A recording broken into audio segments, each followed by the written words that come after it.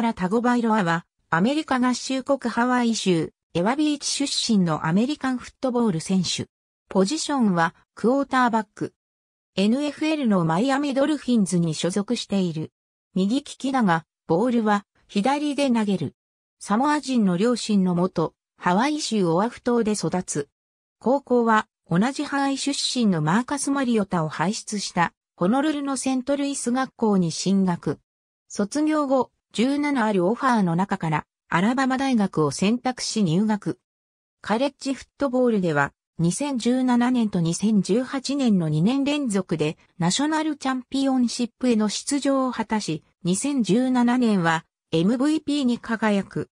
その他、マクスウェル賞やウォルター・キャンプ賞などいくつか賞や栄誉を獲得し、ハイズマン賞のファイナリストに選ばれるもしくも受賞とはならなかった。2019年は11月16日の試合中の怪我が原因で股関節脱臼になり苦しいシーズンとなった。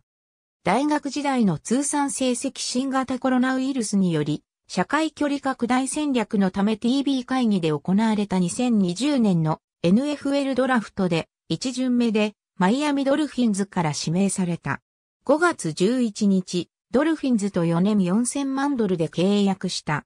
シーズンでは10月18日の第6週ニューヨークジェッツ戦で途中出場でライアン・フィッツパトリックに代わり NFL デビューを果たす。